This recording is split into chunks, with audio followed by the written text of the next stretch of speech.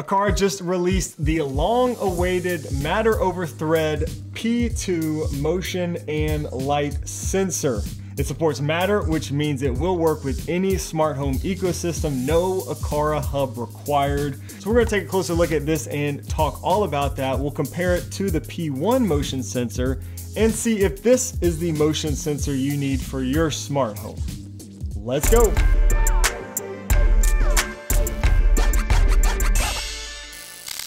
Yo, what's up guys? My name is Shane and this channel is all about building an easy Apple home, smart home with new videos and live streams published every week. A big thanks to Aqara for sponsoring today's video and sending me their brand new P2 motion and light sensor. This is one of those products that I know a number of you have been asking me about for quite some time. So this thread-based motion sensor was originally said to launch in 2022. So it took a little longer than expected, but it is here now now. It's officially available and you can purchase it today for $33.99 US. This is Aqara's second Matter over Thread sensor following the P2 door and window sensor released in 2023.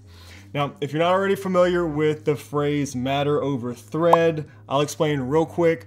Thread is a wireless protocol. That's just how the sensor will connect to your smart home, as opposed to other protocols like, you know, Wi-Fi, Zigbee, or Z-Wave. Thread is a low power, low latency mesh protocol, so it's great for smart homes. Now Matter is essentially the certification.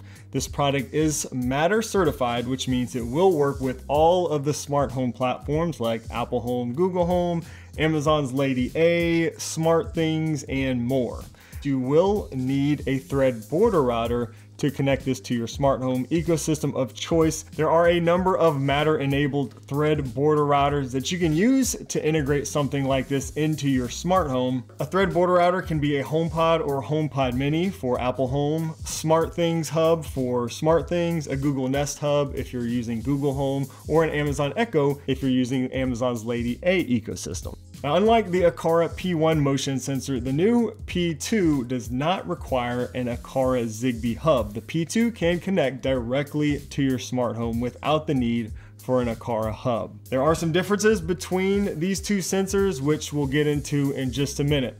But inside the box, we have the motion sensor itself, Aqara logo on the front, pairing button on the back. If you look real closely, you can probably see the Matter logo and pairing code printed very lightly on the top of the sensor. We have our documentation.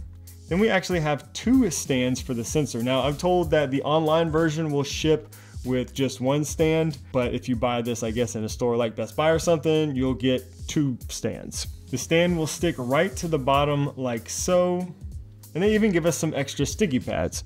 Here's everything inside the box. Now currently you cannot pair this to your Aqara hub in the Aqara app, even if you wanted to. Pretty soon, Aqara will release their M3 Matter Hub, which will then allow you to pair this and other Matter accessories in the Aqara app. But right now, you cannot pair Matter accessories in the Aqara app. So for now, you must pair this directly to your smart home ecosystem using the Matter controller app for whichever ecosystem you're using. For me, that's gonna be the Apple Home app. I'll tap new accessory, I can see my Aqara sensor right here. Then I'll just put in the matter code, put it in the appropriate room and rename it if you want to. And then to my surprise, we can see that this is adding both the motion sensor and a light sensor to HomeKit, which is awesome. I mean, I know the box says it includes a light sensor, but so did the other Aqara motion sensors in the past they just never exposed that light sensor to HomeKit. They did in the Aqara app, but not in HomeKit. So that's a nice, pleasant surprise. I can go ahead and see the light sensor and motion sensor are already showing up here in the home app. The motion sensor is actually labeled as an occupancy sensor in the home app, but rest assured it is in fact a PIR motion sensor. One of the cool things about Matter is the multi-admin support. So what that means is that I can add this sensor or I can add a Matter accessory to multiple smart home ecosystems simultaneously. To add this sensor to another ecosystem after it's been initially paired, just put the accessory in pairing mode from the device settings, copy the newly generated code, and then paste it into your next smart home ecosystem of choice. Both the motion sensor and the light sensor are exposed basically to all the ecosystems except for Amazon's Lady A.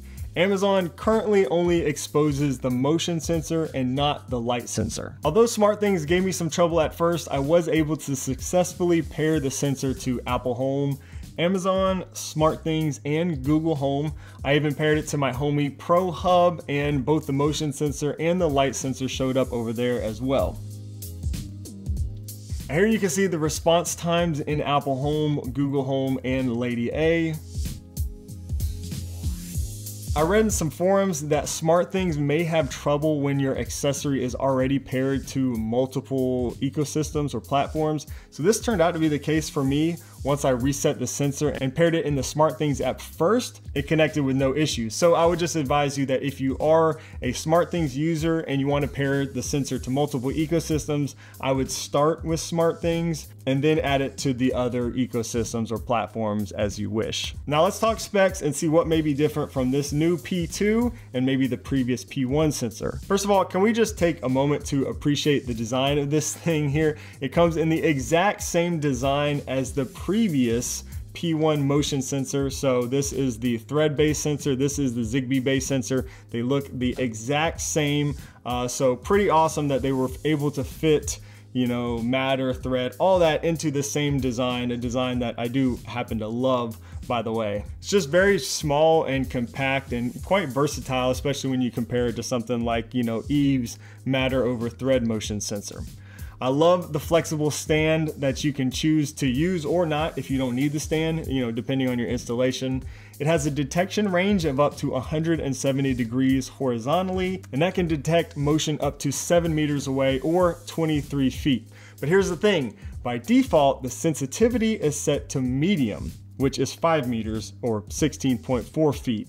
The sensitivity can be adjusted between high, medium, and low, but that can only be done in the Aqara Home app, which also requires the Aqara M3 Matter Hub, which again, at the time of this recording isn't available. Like I said earlier, you cannot add this sensor to the Aqara app at the time of this recording. That won't be possible until that M3 hub comes. And also along those lines, the motion sensor timeout can be changed but also can only be changed in the Aqara Home app. The default timeout is 30 seconds. So for the time being, and unless you end up with the Aqara M3 hub, you'll pretty much be stuck with this sensor in the medium sensitivity setting, which again gives you five meters or 16.4 feet and a default timeout of 30 seconds.